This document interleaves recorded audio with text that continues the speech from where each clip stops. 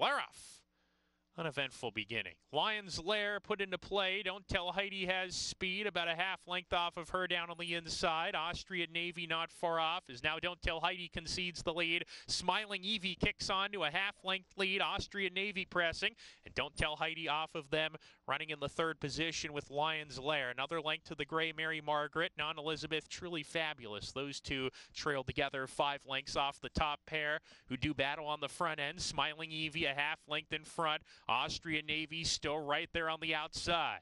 A length and a half to Lions Lair into third. Don't tell Heidi in a pocket, waiting for racing room at the quarter pole. She's got run. Truly fabulous. The rider sounds the alarm on her. She's got to get going as Austrian Navy takes command. Austrian Navy down the lane, opens up a length and a half. Don't tell Heidi comes on the scene, takes the second spot down on the inside. Lions Lair alongside of her. Mary Margaret next, charging late. Austrian Navy 16th to go is opened up to. Don't tell Heidi. Mary Margaret is coming with a flying finish, but she's not going to get there in time. Austrian Navy holds off Mary Margaret. Don't tell Heidi third. Lions Lair truly fabulous fourth and fifth.